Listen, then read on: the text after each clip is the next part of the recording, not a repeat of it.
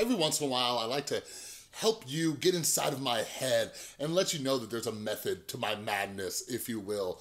So I wanna kind of explain via a story time in good old fashioned Tana Mongeau style about why I say to stop enabling YouTubers like Tana Mongeau and others.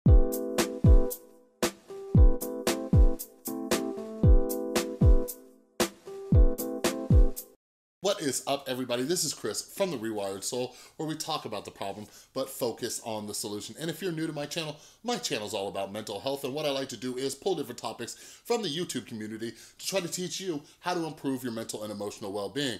So if you're into that stuff, make sure you subscribe and ring that notification bell. And while you're at it, make sure that you're following me over on Instagram, at The Rewired Soul, as well as Twitter, because sometimes the YouTube notification system sucks. I always tweet out when a new video is going up. Over on Instagram, I'm trying to to get to 10,000 followers so I can get the swipe up feature, and I'm so close. But anyways, follow me on social media. I do a lot of stuff over there. All right, but yeah, anyways, uh, it's interesting. Uh, Tristan, my beautiful girlfriend's over there taking a nap, and like, I get, I get these ideas stuck in my head, and one way for me to get those ideas out is to sit down and record a video, right? And I look at YouTube as a full-time job because it is, aside from, you know, my writing and other things that I'm doing, right? But there's a reason why I do what I do, okay? There, There's an, an absolute reason. And those of you who know my channel and you're you're here to improve your mental health, your emotional well-being, and all of that stuff. Like I'm trying to use examples that you're familiar with to teach you valuable lessons. So I'm gonna share with you a story a little bit of a story of me working in a rehab. And I can give you thousands of stories, literally thousands. I've been thinking about putting them in a book. And by the way, for all of my ethics majors out there, I am going to change the name of people in this so I don't get sued. Uh, but yeah, there's something called HIPAA, so I would never give you the name of, you know, clients or whoever it is, right? But I will change the names just to help give you a little bit more, you know, into the story, you know, if you will, all right? So there's a there's a story that always comes to my mind about enabling, and I use this story as a way to teach people about what it means to be a good friend, right? And not enabling people. So we're gonna call this gentleman Billy, all right? So Billy was um, a client who came in and insurance, insurance in the United States isn't that great. Um, like I've mentioned before, I worked at a very, very expensive rehab, but if you had good insurance, you could stay there. But most people could only stay there for 30 to 45 days maximum, even though it's recommended to overcome an addiction that you're in treatment for at least 90 days, right? But um, Billy, who came in, he is somebody who spent most of his life in and out of prison and all that, and he was trying to extend his length of stay as much as possible.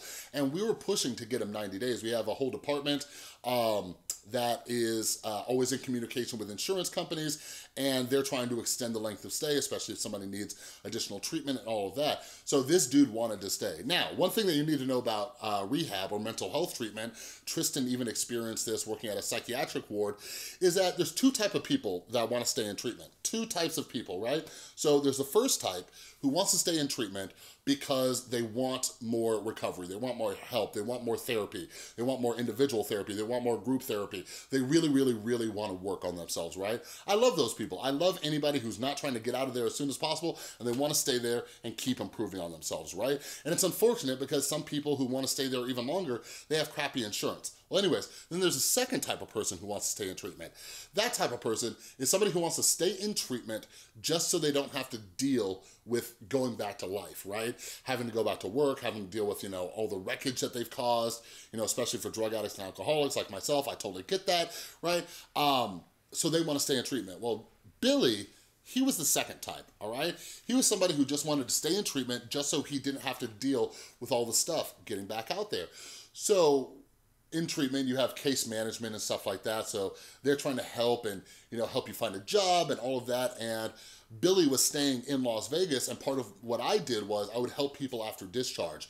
So I was trying to help him find a job. Um, I think I was helping him find a job at the local Amazon facility here and stuff. Well, anyways, Billy being somebody who was in and out of prison a lot, he had that prison mentality. You see this a lot in treatment. One of the hardest parts about getting sober or staying sober or even working on your mental health is getting away from the old lifestyle. So anyways, whenever I would do groups, I always I remember this clear as day. Whenever I was doing groups, I'd be doing groups in front of 50, 60 people, you know, educational groups or book studies or whatever. And Billy would be in the back corner over there, like either sleeping or like doing push-ups, like like that's what he was doing, right? Not paying attention at all. So I'm sitting there and it's none of my business because it's not my job to extend this guy's treatment, but I'm just like, this dude is just trying to milk his treatment stay as much as possible and he's not paying attention to a damn thing. Well, here's where the issue came up with Mr. Billy. So part of what people, um, some people do in prison is they start to get educated, right? educated about their rights and things like that. That's why I don't really take it too personal when people like get crazy in the comment section because some people think that they're smarter than they are. So what Billy would do was he he would start to like try to start this like mutiny with other clients, right? So he would like get other clients together and say, oh, they're not treating us fairly. They're serving us this type of food. They're doing this, right? And like, trust, I worked at a nice treatment facility. Like we're talking about like a chef and you know, like you got a nice place to stay. We had room service, not room service, but like maid service. So you didn't even have to make your bed. That was way different than the way I got sober. And some of you who like went through treatment at a state funded facility or whatever, like you're listening to this like I was, I'm like, oh my God. But anyways, he kept trying to like get all the other clients riled, riled up, saying we should talk to lawyers and we should da da da da. So the staff pulled Billy aside and they said, look, Billy, like we're trying to help you out. We're trying to extend your length of stay. Like we're gonna need you to chill out right? So they gave him a warning. They said, if you don't chill out, we're gonna have to kick you out of treatment. So they gave him that warning. Within a day or two, Billy's doing it again. They pull him aside again. They say, hey man, Billy, we're trying to keep you here in treatment, but we can't have you trying to cause problems. Like you need to chill out, right? So it happened again, and it happened again. Four times. Four warnings they gave this dude. That's a lot more warnings than a lot of people get, especially in treatment.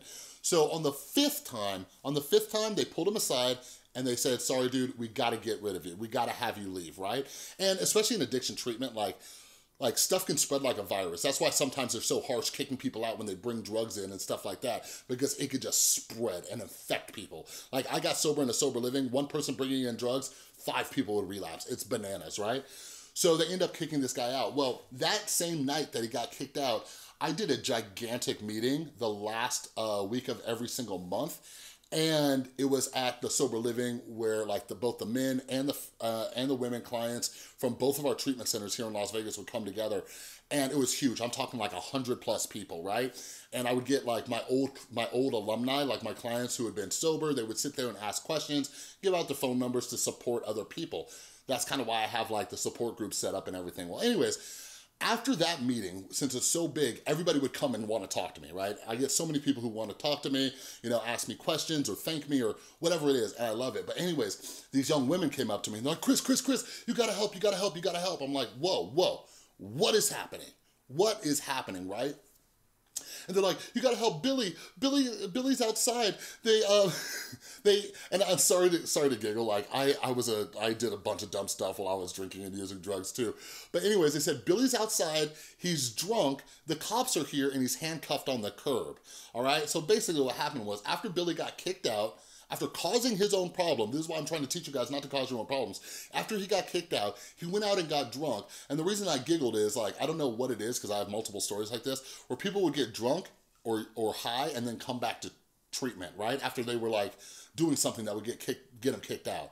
You know what I mean? Like, you gotta help him, you gotta help him. I'm like, what do you want me to do? Like this dude had multiple warnings, like, sorry, he's gotta pay for, you know, his consequences. Like that's, that's the way this world works, right? Well, anyways, I remember the next day at treatment, and we had many situations like this. I was always very grateful that I never had to be the person who made the decision on who got kicked out or whatever, right? Because addiction can be a deadly disease. But I remember the next day, like the tension was high between like clients and staff because a lot of people like this dude, Billy. So I was up there like doing, you know, doing a group or whatever, and I kept getting interrupted. I kept getting interrupted. And these guys are like, I can't believe you guys. You guys don't care. He, he's a he's sick. He's a drug addict. He's an alcoholic alcoholic. Uh, you guys don't care. You kicked him out. You guys don't care. Da da da da da. And pff, you guys think I give you tough love? I said, time out. Time out up in here. I'm like, you guys want to talk about how we're a bad staff? We gave this dude four different warnings and he got kicked out on the five, the fifth time. Who the hell are you? You think that you're a good friend? How come not one of you, not a single one of you, pulled Billy aside and said, yo, Billy, they keep warning you about this stuff. How about you chill out, man? You see what I mean? They were enabling him that entire time. And then when something bad happened, when the consequences caught up to Billy, they wanna point the finger somewhere else, right? So this is a prime example of enabling. So that's why I talk about enabling when it comes to Tana Mongeau and other YouTubers, right? And it's not just the audience, it's not just the stands, it's their friends and who they surround themselves with. If you look at YouTubers and their friends and who surround who they surround themselves with, it's a bunch of people enabling them right? It's a bunch of people enabling their behavior. Why do you think TanaCon happened? You watch the documentaries. She had a bunch of friends gassing her up. How come not one single person pulled Tana aside and said, yo, you shouldn't be trying to run a convention out of anger. That, that's not good, right? But we as viewers need to think about the part that we're playing in enabling them too. The positive reinforcement that we're giving them, the views, the subscriptions, buying their merch, right? We are, we are giving them positive reinforcement, so why would they stop? Why would they ever stop doing what they're doing when we are enabling that behavior, right? But the second a commentator on YouTube says something bad about that person, you run to their defense all right? Do you wanna be a friend like Billy had? Do you wanna be one of those people who lets these people get go out there and receive consequences for what they're putting out publicly online? Do you want to be that person and then sit in denial like you weren't enabling them the whole time, right? So I also want you to think about this. How does this happen with your own friends? Are you enabling their behaviors? I used to surround myself with, with enablers, people who sat around co-signing my BS behaviors, everything that I was doing, and it was keeping me sick all right? This is why I always tell you, the best friends in your life will tell you what you need to hear and not what you want to hear, okay? And, and I hate to make such a comparison, but when you look at, you know, the people that have passed away, when you look at people like Mac Miller, when you look at people like Lil Peep, when you look at um, other celebrities who have passed away, when everybody on earth knew about the issue, but they didn't do anything about it, right? So I'm not saying Tana Mongeau is gonna die, which, you know, would be a scary thing, because like I've mentioned in other videos, like she abuses prescription medications, all right? We're talking Adderall, we're talking Xanax, we're talking prescription prescription opioids. We've seen video of her driving a car while high and crashing it and friends laughing and all of that, right? So think about that. Think about that for a second. And then we wanna push the blame on everybody else or act like there's nothing we could have done about it when we've been enabling these people for years all right? So that's what I wanted to say, and this was the thing that was on my mind. I hope you enjoyed that story time. If you want me to do more videos like this, kind of explaining like real life scenarios that I've been in, that I've dealt with, whether in my own recovery or whether working in treatment or whatever, like every single thing I teach you on this channel is something that I've witnessed, whether it's people failing or people succeeding, right? I know sometimes it feels like I focus on the negative, but I also try to point out when people are succeeding, like this whole thing with improving your mental health is not doing what isn't working and finding people who are doing things that do work and emulating that behavior, right? But the problem that we have, which I have more videos coming out on, is people emulate the negative influences and then they wonder why their life is so hectic and a mess. You know what I mean? But anyways, if you like me doing more story time type of videos to kind of intertwine these two things a little bit more without all, you know, without neuroscience or psychology, just my personal experience, let me know down in the comments below, all right? But anyways, that's all I got for this video. If you like this video, please give it a thumbs up. If you're new, make sure you subscribe and ring that notification bell because I make a ton of videos. And a huge,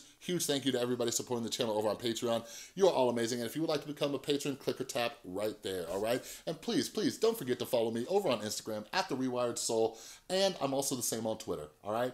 Thanks again for watching. I'll see you next time.